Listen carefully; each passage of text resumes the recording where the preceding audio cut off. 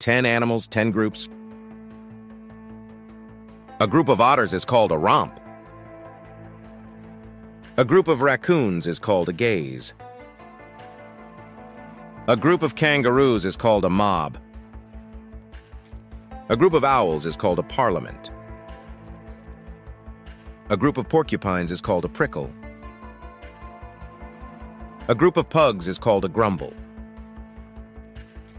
A group of gorillas is called a band. A group of jellyfish is called a bloom.